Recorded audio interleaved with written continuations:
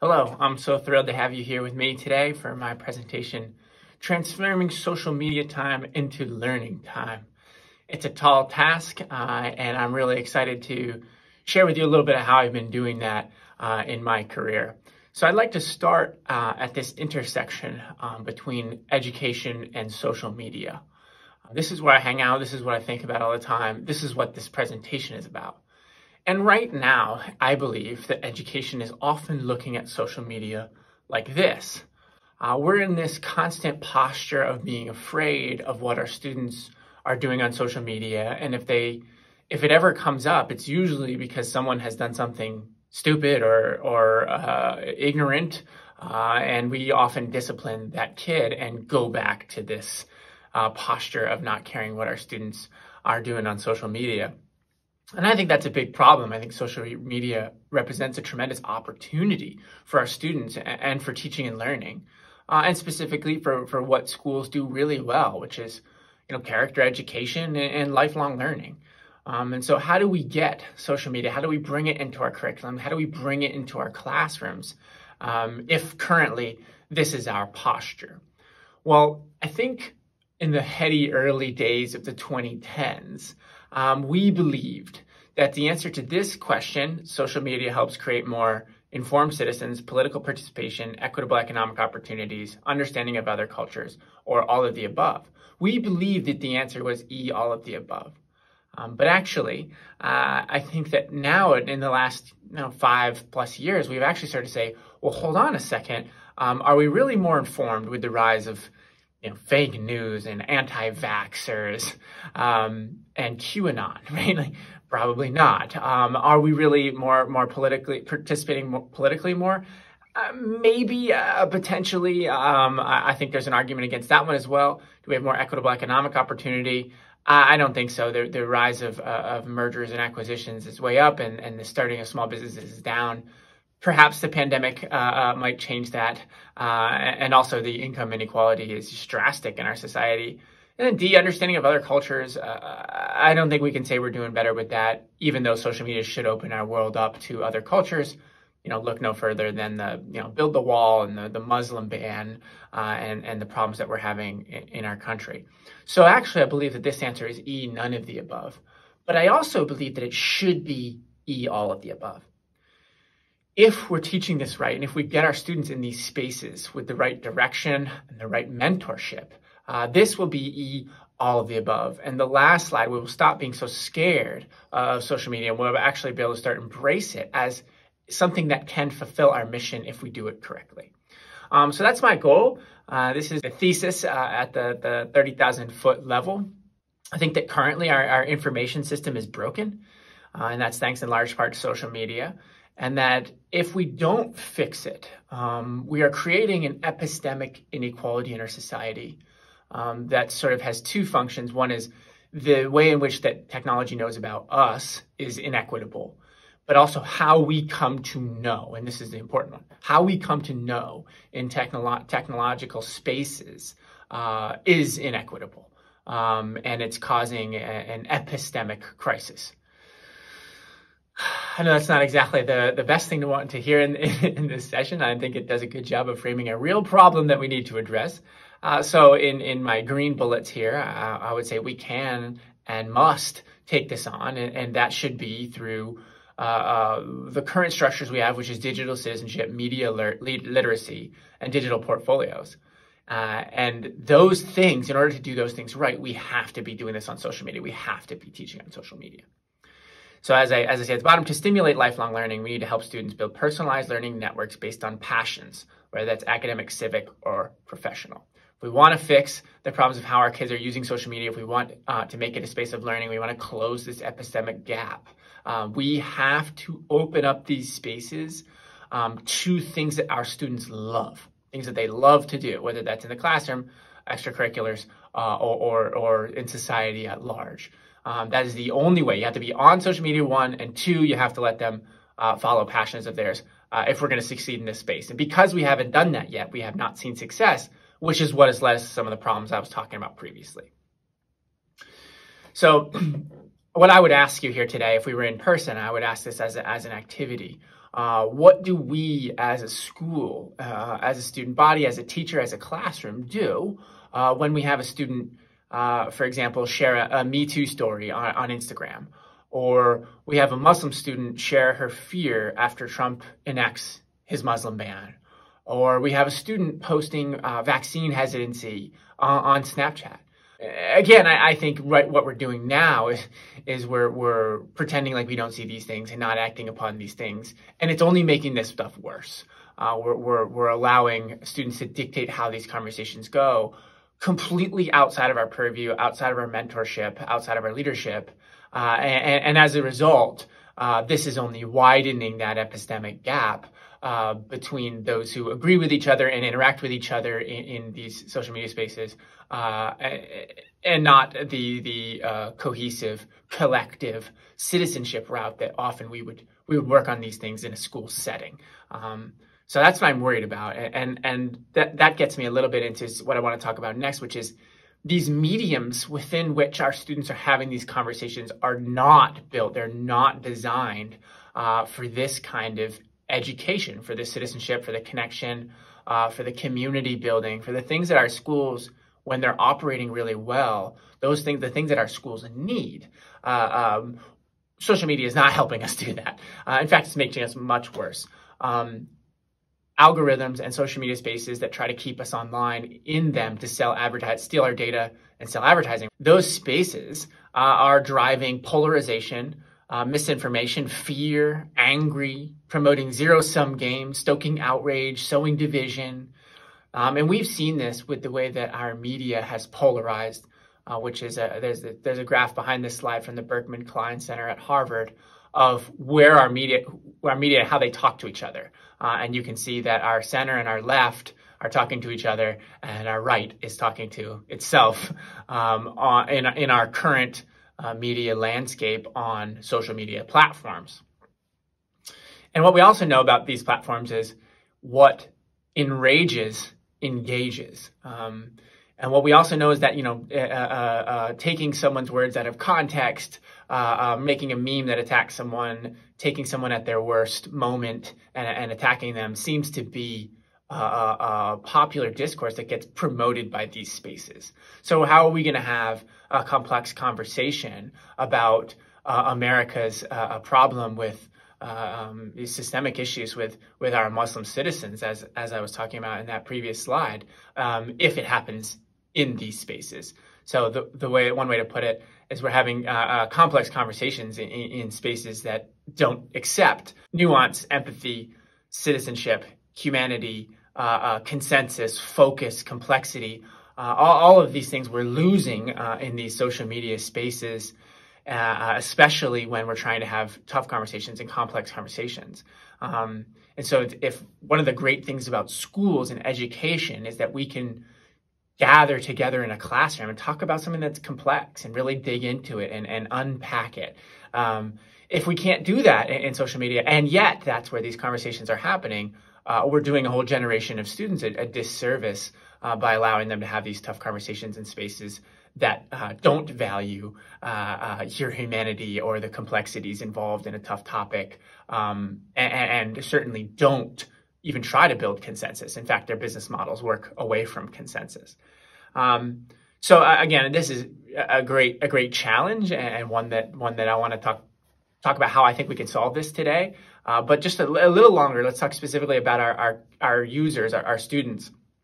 Um, you know, no matter what the survey is over the last 10 years, um, we have um, the numbers of who's using their phones or, or, screens and screen time is going up uh, more and more and more every single year. Um, so whether that's, you know, daily hours spent with digital media per adult, you know, uh, uh you can just see it going up, up, up, up, up.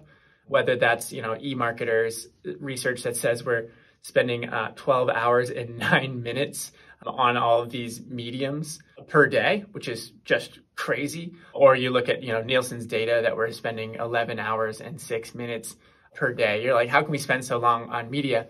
Well, if we're multitasking, which we almost always are when we're on media because we have multiple devices, um, that sort of is double counting. So we can actually spend uh, a crazy, crazy high numbers of time on screens every day. Um, and I think we're seeing this with our students too. There's no doubt um, if you're teaching and working in a school, you're seeing your kids are spending more and more time online. And what I'd like to point out is specifically there, there, there can be great positives to that. Um, I just don't think that we've sort of captured that and steered our kids towards those great positives. And so how would I, how would I, I would articulate that is to say that, you know, in, in Common Sense Media's most recent study, um, they said that creating content, which I think is a very valuable and amazing things about these devices that we use in our schools. Creating content, being creative, making something, uh, and sharing it accounts for only three percent uh, of our of our teenagers' screen time. Um, and that, you know, when you when you uh, multiply it out by the amount of screen time, is about 13 minutes, uh, which is very very small, uh, considering the tremendous power and uh, uh, what what you can do in these spaces. So I was talking previously uh, about why they're spending so much time in these spaces, and uh, it's simple. I mean, the companies, you know, the, whether it's the gaming companies, the social media companies, or whatever, uh, the way in which they're making money uh, is by hooking you with variable rewards, which is the little one above your messages app to make you click on it, or it's the slot machine style uh, of refreshed, um, which you know variable rewards. It could you could get something really really amazing. You could get something really great. Um, you do that to hook a user to get a user on, and then you mine data and information and try to learn as much as you can about this user. And then you use that information to serve up that to that user what they need to stay in your in your app on your game for as long as they can, so you can make as much money off of that user. Um, these companies are using psychological tricks, as Tristan Harris says. They're they're traveling down the brainstem to do whatever they can to keep our kids hooked, um, and they're doing a, a, great job of that. As as I was saying previously, in the in the fact that you know our numbers just go up and up and up every year with how long our, our kids are spending online. Um, so with that, as as the challenges that we face, um, you know that that that moves me into sort of okay, well, well, what are we doing now, and what should we be doing? Um, so I'll, I'll I'll stop with the pessimistic downer, like this is where we are, and, and I'll, I'll, get into some solutions. So First, let me talk about where where I think most schools are, and where we've sort of gotten to over the last like three or four years, realizing that this is a problem and we should address it. So I've been teaching a lot of digital citizenship and media literacy. We've added that to a lot of our curriculums. Unfortunately, I think that one of the problems we're having there is often our digital citizenship curriculum looks like this. Should you post blank? You know, or, or how does this post make that person feel? We might be talking about intent and impact a little bit. I think that's great. But I don't think that's enough. And then similarly with media literacy, we're often saying, hey, is this a good source on a research paper that you're turning in? So we're sort of retrofitting these new issues. Um, citizenship, now it's in the digital world. How do we add that to our curriculum? And then literacy, and how does that fit in the, in the digital world? And we're sort of retrofitting that into the current curriculum. And the interesting thing about this, and I think I think that's valuable. I think I think we should continue doing that. I just think we need to do more. Um, however, uh, um, what I found really fascinating about teaching these things and, and, watching schools and educators across the country do the same is that in a lab, in lab conditions, you know, in the classroom, when you ask these questions, my students always get it right. Just always. If you're like, hey, you know, Johnny, should you post that thing? Hey, you know, Abdul, is this a good source that you're using on your essay? they know, you know, they can start thinking, oh, maybe I shouldn't have posted that, or, or maybe this is something that wouldn't reflect positively on me, or you know, maybe that source was was probably not filled with the best information, and I should have spent some more time researching and evaluating. Like they get this right in a classroom or in the in the lab, um, but then not in the real world, and so do we as teachers. You know, teachers act like good citizens, and then te- there's always a story every other week of a teacher doing something or saying something stupid online um, same thing with media literacy. You know, there there were there were teachers, you know, at the Stop the Steal rally or or, or insurrection at the Capitol on January sixth. Um, so you know, we we we like to teach it, but you know, we always we make these mistakes too. But in a lab, when you take it outside of um, the, the, digital realm and teach it in the classroom, they tend to get it right. Um, so how do we ingrain that so when they're getting it right in the classroom, they just get it right on their own online. And I think the only way to do that is to actually get into these spaces and actually get into social media and help kids find a different way and see a different way of using it so that they're not always uh, uh, using it for, for reasons of you know, social connection or, or, or confirmation bias or whatever might lead them astray when it comes to digital citizenship and media literacy. Uh, and then finally, another thing I, I, want to talk about today is digital portfolios. almost all of them have a digital footprint already.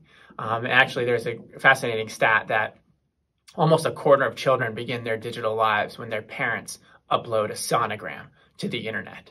Uh, so, uh, you know, the, the numbers are, are, are, are wild for just how many of our kids even just by joining our schools, you know, they almost have to be using certain things and doing certain things online, which make give them a digital footprint. Now, that's not necessarily a bad thing, but as schools, we need to help our students take that digital footprint and blossom, make it blossom into a beautiful digital portfolio that will benefit them uh, when colleges might Google them or employers or, or what have you. That that we need to get them thinking about curating a digital image way sooner, uh, way more intentionally, way more strategically, uh, and again, it can't be a one-off. Teach it once in a in a sort of lesson and during during free time about getting a job someday or getting into college and having to scrub your social media accounts. It's just not enough. Um, the only way to get this right again is to get into this space. Um, so how do we do that? Um, I'm I'm to talk about what my view of these three topics: digital citizenship, media literacy, and digital portfolios, and then how I think uh, we can make a transformative difference in this space. Um, yeah, First, digital citizenship. I view digital citizenship as what's happening on the left side of this slide. When you get online, do you get online as an active, informed citizen or a passive, entertained consumer? To me, um, it's a state of mind. So when you're whipping out your phone to just endlessly scroll, you're probably getting in that space, whether it's logging in Instagram or TikTok or whatever it is, you're getting in that space as a passive, entertained consumer. Um, and that's not going to yield great outcomes for character education and lifelong learning because of that digital citizen, that, that state of citizenship, that state of mind when you get online. Now, do you always have to get online as an active, informed citizen, ready to learn and develop as a, as a citizen? No. Uh, uh, there should be a little bit of both. Um, but I think, unfortunately, right now, for, for our students and, and for, for adults too, that, that we are often on that passive entertained consumer side rather than that active informed citizen side. You know, so how do we get students to that active informed citizen side? That's where I'm going next. Um, so another way to think of that as a framework is we need to be helping our kids talk about what they should do online, getting online as an active informed citizen, learning, developing, all those things, rather than what they shouldn't do online. Don't watch Netflix, don't play that video game. So this is sort of the, the framework that I would, how I would think about teaching this. So the next one would be media literacy. Um, and this is a, a, funky graphic I use to think about it. What I believe that we should be doing with media literacy is we should have students um, getting online as first as active informed citizens, as that sort of critical thinker. And then they need to build these networks much bigger. Because what's happening is all of us, teenagers, adults, everything, in our network, we have some nefarious elements, some evil elements, some Russian propaganda, and some liars. Um, and the only way to eliminate some of those negative, nefarious, evil elements is to make sure that our networks are big enough and filled with enough quality information that we can drown out uh, uh, or fact check uh, or, or, or, make less desirable and less likely to be clicked or commented on uh, the nefarious, evil, uh, lying elements. Um, so that's our charge is to build these networks bigger.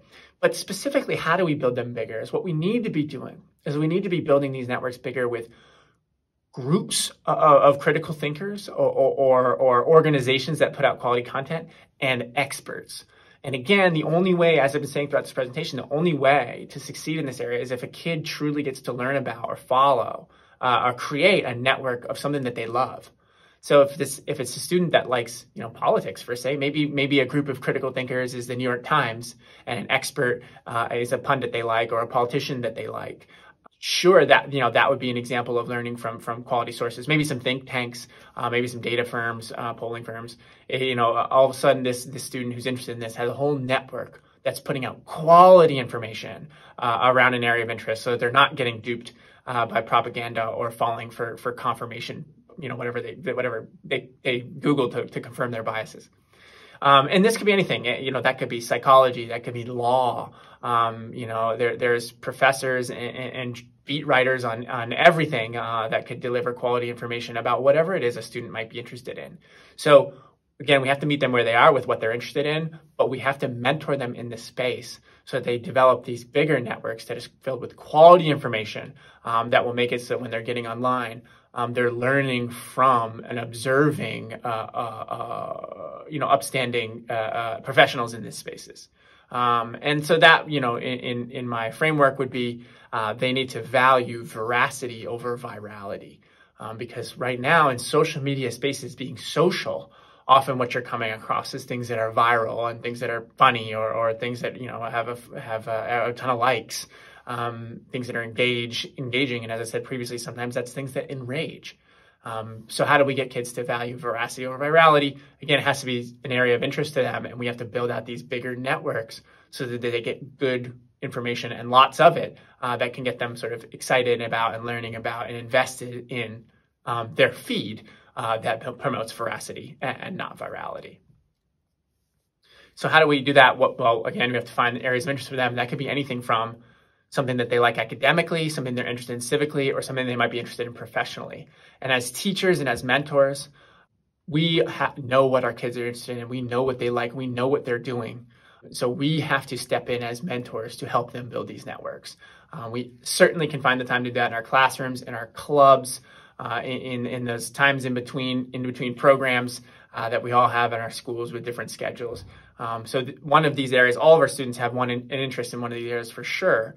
Um, we just help have to help them build a network and investigate that and learn about that uh, uh, to open and unlock uh, this different style of using social media uh, for good, for for for uh, uh, civic engagement, for character education, um, for learning, and for professional opportunity. So that brings me to digital portfolios, and this was a, a digital portfolio from one of my students who took a class with me called Mass Media and fell in love with our film unit uh, and then built this amazing website where he now uh, is out of college applying for jobs and he can say confidently, I've been studying filmmakers and learning about this stuff for for many years now since I took you know mass media as a junior in high school, uh, um, and I'm ready to enter this field and I can show off my amazing work. Um, so uh, when an employer looks um, at, at, this this kid's work, uh, um, it's it's it's clear he hasn't been studying this stuff. He knows the lingo. Uh, he's tried a bunch of things, and, and he's a much more desirable candidate than someone who just has, you know, let's say a film major on their their resume without the digital portfolio to go with it. So, uh, in that mass media class, I also had a couple other students that wanted to go into that, that really loved our journalism unit, and they wanted to be writers, and you know, they did the same thing. And this is their digital portfolios.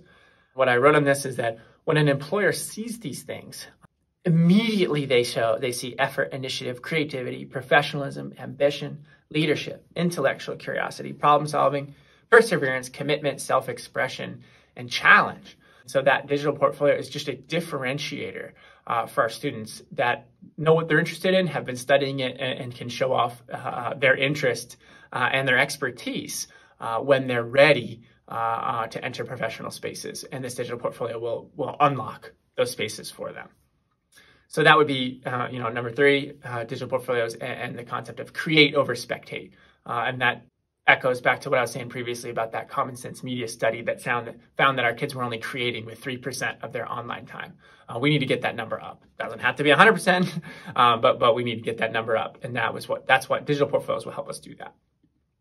So that brings me to my last section here, which is, well, how do we do all of these things that I'm talking about? Um, and I have a ton, a ton of examples coming for you here. Um, and I think if, if we're trying to help our kids find passions and develop networks and learn online, um, where as schools and as teachers can we find the spaces um, to help teach what, what I'm talking about now? And I think it should be an all of the above approach. It should be in our classrooms. It should be in our extracurriculars, uh, um, and it should be in our in our you know uh, flex times when we're trying to talk about you know careers or or citizenship or whatever it may be. Um, so anytime we can find to work on on these things, uh, we absolutely have to take it. And, and I'll and I'll show you some examples. So first, let me talk about um, that mass media class that I showed you those digital portfolios from. Um, I started this class with a Twitter list, and I said, if you if you want to go into a career um, connected to media, here's hundreds of people that you can follow that are in these careers that are doing amazing work that you can learn from. So that's that media literacy, building up their networks so they can learn from quality organizations and thinkers in this space. And then I said, well, if you're going to go into media, you have to be able to write. You have to be able to, to write an, an article. So I created a blog and had them practice that skill. And this was part of that digital portfolios thing. And then I said, well, you have to be able to cross medium. So here's an Instagram account. You can learn how to how to do uh, social media, PR, uh, um, um, you know, photography, things that you're going to need if you want to go into media, and so on and so forth. We did that with a Twitter account too, and we did that with a SoundCloud account, so they could put podcasts on there. So I made them cross mediums as well, and we sort of concluded with film, as I was talking about with my student my student earlier that I was showing. So that is one way in the classroom to say in every unit I taught in mass media, I connected it to what professionals are doing that space. And I created the space for me to say to a student, if this is what you really like about this class, if this is what excites you, well, here's a here's a professional network that can make you really good at it. Here's some more examples of my students and what they came up with there. I had this one kid who was fascinated by uh, uh, horror, the horror as a genre, and so he made a whole blog and got really invested in different types of horror video games and films and, and wrote all about it. And then the same kid actually found out that um, he then said, "Well, actually, know, I want to do I want to do film reviews more more broadly, uh, uh, more blockbusters." And so here, this from a few years ago. This was him doing reviews of, of Hollywood films and then finally, he realized that actually filmmakers were gathering on this new social media app called Letterboxd, where you show all the films you've watched and, and you can write thoughts on them and, and make connect with others. And now he's had a social network for his own passion about film. Um, so that's one example of a student that came out of one of my classes, mass media, and then beyond my class was was doing work that we were doing in class, blogging, making videos, um, and to eventually found a professional network outside of something I even knew about. I didn't even know what Letterboxd was. Um, to continue learning from professionals and getting better at something that he, you know, took a liking in in my class. So I know mass media is a, is a, is a nice course, is a broad course to do something like that in, but I've also done that in my history classes. I'm a history teacher. Um, so, for example, I taught a contemporary world history class, and I did the same thing. I said, well, here's a list. If we want to know what's going on in the world, if that's the goal of this course, you know, here's a list of a, of a ton of uh, journalists and, and, think tanks and, and, and, organizations in international development, international business, and you know, uh, NGOs and you know nonprofits and all these types of organizations that are doing great work in the international community here's what you should be learning from. Uh, and then we would spend some time in class looking through this Twitter feed, seeing what was going on in the world, talking about it. Uh, and then I said to the students, well, here's the types of things that are going to come up in a class like this. Uh, uh, human rights, education, literacy, healthcare, um, you know, crime, you know, technology, nutrition, et cetera, et cetera. I said, you tell me from this list of things that we're going to come across what you're interested in. And then when we come across it in, in this amazing list, this amazing network we built, uh, and we find amazing, we have find interesting and, and, quality information around these areas of interest. I'll just click one of these columns and send you the stuff that comes up, and, and you can decide if this is truly an interest for you, uh, and learn about it, and decide if if this is something you want to continue to learn about, and a network you want to build bigger and get more invested in, or maybe this is not for you. And, and I think for any teacher, no matter what subject you're teaching, I think you can do something like this. And you're not going to reach all of your kids, and that's totally fine. But if you can reach just a few that have a passion for your subject matter, um, you're setting them up for, for tremendous success uh, where they will be learning about this subject matter indefinitely beyond your class in a space that updates in real time with quality information, which I think is incredibly powerful. Um, so here's how one of my uh, science teachers did something similar. Um, he said that you know, you know, he set, set them up for projects that they were working on. And then he said, well, you know, if you're working on this project, you should probably check this out. And if you want to keep up with what's going on in this area of, of interest, you should check this out.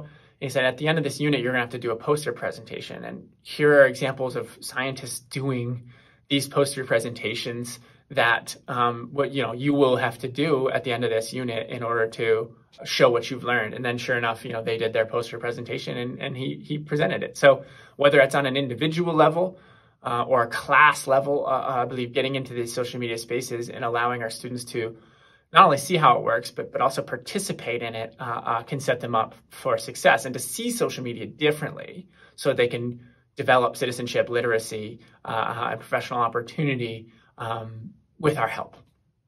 So I also had a student who was interested and he wanted to be on ESPN someday, wanted to be a commentator. I said, well, why don't you create your own version of that here? And this would be an extracurricular activity. And he, he cut highlight tapes together from all of our athletic teams. And then he would, you know, comment on them as if he was an ESPN broadcaster. And he made a little YouTube page and started to uh, share these and, and show if, show that he was good at this. Uh, and sh- you know, should that be something he pursues uh, later in life, he can point to where he started and where he sort of cut his teeth and, and got better at it every day and how he learned how to edit and how he learned how to uh, um, you know time his his calls and all that um, which is you know an extracurricular activity boom uh, connected to social media uh, inevitably as well he was following and, and learning from from the experts and this is uh, another one that has a student who's interested in, in stopping animal cruelty uh, again, I helped I helped her build a network. This is uh, um, from from one of my classes, and and I, I, you know allowed this to be one of her her final project. And I said, okay, well, you know, if you want to, uh, if this is one of your areas of interest, how do you, you know, spread the word, and how do you how do you uh, help others learn from good sources and quality information about stopping animal cruelty and how you do that. So she built the whole website on that.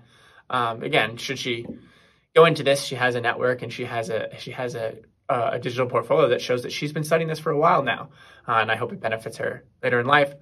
Uh, anyway, I, I eventually created what I'm what I'm talking about now into my own course that I call passion based learning through social media, and in that course, a student gets to pick one of their passions and, and use social media to learn about it uh, in the same way that that I've been describing.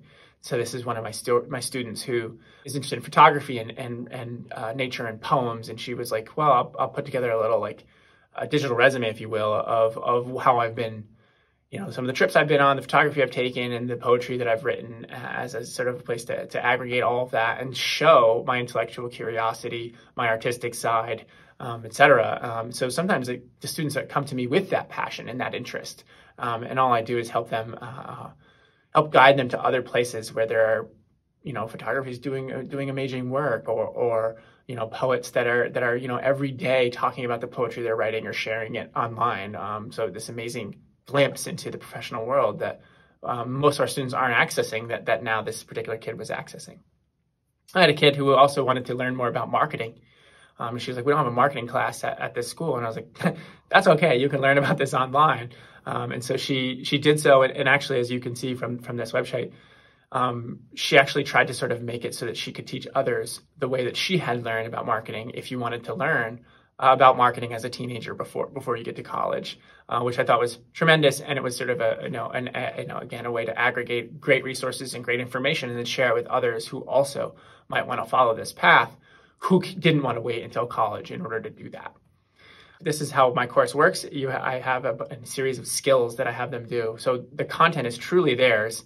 Um, and what I'm doing is I'm teaching them how to sort of uh, uh learn online, curate, create, share, collaborate, uh, and, and lead. And I, I, allow them a wide variety of how to do that. Um, but of course, that uh, it has to come from something they care about and they're interested in and that they want to get good at. Um, one of these I want to highlight is actually that collaborate section, because in that collaborate section, I ask students to say, well, if you have this professional network and there are all these amazing people doing amazing things, why don't you connect with one of them? One of the huge advantages of social media is you can just reach out to these professionals and they'll hit you back. Um, and I've had tremendous success in this class with students uh, reaching out to, to, professionals, whether it was the student who was interested in animal cruelty, reaching out to the uh, to PETA and getting an interview from them and being able to talk to them and, and write up the work that she did with them, or I had another kid who was interested in helping um, girls have opportunities in coding, girls in STEM project who connect, who reached out to someone who wrote a book that she was reading about it, the topic, and someone who was placing coders into the professional world. She was able to talk to both of those people and again, write it up and learn from them and add them to their network. So I'll just end with this. Um, if you find this way of, uh, you know, learning through social media and getting our students invested in social media spaces so they can be quality citizens learning great information and, and creating professional opportunities. I said the first thing I would ask teachers to do um, is this activity where I say, well, what would that additional section of your syllabus be that has this tremendous network uh, of, of uh, professionals and, and, the authors of your readings, uh, journals and periodicals that connect to your to your content. And if you had a kid that really really loved your class, um, could they learn about this topic? Um, in a space that delivers quality information that updates in real time and provides you this window into the professional world and an opportunity to collaborate with professionals and show off, show proof of work, uh, show that this is an area you're interested in and you're, you're doing good work in. And that could be simply responding to a post, or that could be posting something original yourself, or anything in between. Uh, um, and, and I think I think that we would find that, of course, as teachers, we wouldn't reach everyone, But if each one of us is reaching a few kids and helping them create uh, an amazing network, uh, then before you know it, we'll have a whole school of kids and a whole generation of kids that have seen uh, the power of social media to learn about a passion, to get better at something you love, and to portray yourself uh, um, in a space where you're understood um, as a learner and a creator and a sharer and an aggregator, uh, a collaborator in a space uh, of something that you love. Um, so I, think we can do that. I, I think um, I believe in it so much that I tried to start this myself. So I built a website that I call Social Media Marketplace, where I tried to tell students if you're interested in this topic, whether it's law or technology or data or whatever, here are things that, that my website will then spit back to you: Twitter accounts, Facebook accounts, YouTube accounts, podcasts, etc. That would help you learn more about this area of interest, so you can truly see if this is something that you think you're interested in, or if this is something you actually want to pursue. And so we've never had access We've never had such amazing opportunity to see, to learn whatever we want to learn, whenever we want to learn, uh, to see what professionals in every different industry are doing, where they're sharing their day to day, they're sharing their work um, in these spaces. We've never had this tremendous opportunity ever before. Uh, and as schools, for the most part, we're, we're punting on this and we're not even getting in the space. We're not even taking advantage of this, or we are doing it in very limited uh, um, uh, things that have been taken offline that are taught in, in, a classroom in a lab and not something that's that's truly applicable uh, and, and, truly real for our students. Um, and sure, sometimes I have students that uh, studied something in my class or or developed a, a great list of of people to learn with and learn from in an area of interest. They might put it down, um, and that's okay. We just have to have the confidence to know that when they are ready um, uh, to develop in whatever career or whatever civic engagement that they're interested in, or whatever academic pursuit they're interested in. That they know that this style of getting online as an active, informed citizen with a network that delivers quality information and curating a positive image uh, is the best way uh, uh, to, to learn about and show uh, that you're a learner and contributor in a space that will benefit you professionally, uh, personally, uh, or, or, or perhaps um, you know something that would that you can create that would you can share with the world to make it a better place. That's the hope, uh, and, and I, I, think I'll close by saying, you know, in, in, summary, we don't have to succeed with every kid. Every kid doesn't have to love whatever subject you're teaching them, um, but we do have to help them figure out that there are networks uh, where they can learn from experts in the same way that there are social media places where they can hang out with friends. Um, and there is a, a, time when you should be, you know, building up a, a beautiful digital portfolio as a professional or as a learner, uh, as an academic. Uh, and there's times when you want to be able to, to, you know, make memes and, and connect with, with your friends. And, there's time when you want to be consuming, where you're really learning something about something that you care about and you're truly challenging yourself and, and, and stimulating the brain. Uh, and there are times when you can just, you know, get on Hulu and, and just, you know, veg out. Uh, and finally, there are times when you should be, you know, creating and, and, and creating original content and showing proof of work uh, to prove that you're a learner and a contributor to these spaces. And there are times when you can just be scrolling and learning, uh, and that all of that is totally fine. But the question for us is, what's the ratio here of how often they're doing those green things to how often they're doing those red things? Um, and it doesn't even have to be 50-50. Um, but we have got to do a better job increasing some of those uh, the time that our students are spending in uh, networks with experts, where they're uh, uh consuming, you know, curating a professional image or, or a quality uh, image that they be proud of, uh, and they're learning and creating and collaborating. And I think we can increase that time, but only if we teach in social media spaces and we allow students to follow and learn about their passions. Um, thank you so much for your time today. I look forward to our Q&A session uh, for those that watch this and are, are joining me live.